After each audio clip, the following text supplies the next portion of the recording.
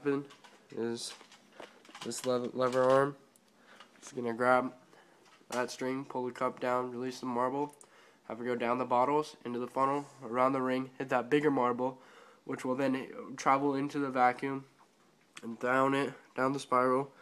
into this cup, which is held on by a nail, which will the weight of the marble will make it drop, raising this platform and raising the, the golf ball up, shooting it down this platform, hitting all these dominoes. Then releasing that, the dominoes hitting that marble, releasing it, hitting the Newton balls, Newton balls hitting the little uh, wheel, wheel traveling down, down, hitting this golf ball, which will then hit this golf ball, causing this one to stay, and the, the one to the right to travel down. Hit the yo-yo, yo-yo will drop, this string connected to the yo-yo will pull the cork, which will release this water into the bowl.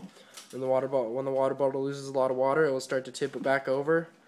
and hit the the pitchfork. The pitchfork will then release the golf ball, sending it down, hitting the mouse over into the mouse trap.